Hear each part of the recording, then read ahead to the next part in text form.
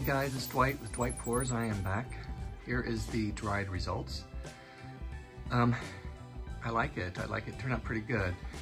I think you noticed in my video, and I apologize, that I didn't stop the time lapse to actually show you what I did on the second part of this painting. Uh, what I ended up doing was remixing um, a little bit thinner. It was a little too thick. That's why nothing was happening. And the cells here basically exploded when I um, poured it and I tilted it. So I'll just move on a little bit, get a, get a picture, an idea.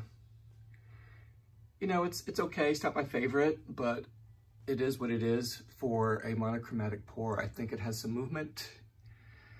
I wish there were some cells in that section right there, but it still pretty much frames out the painting. So it is kind of cool. Oops, let's see. There you go. So I might do another one this afternoon and um, I will post the dry results and I hope you like this and you guys have a great start to the week.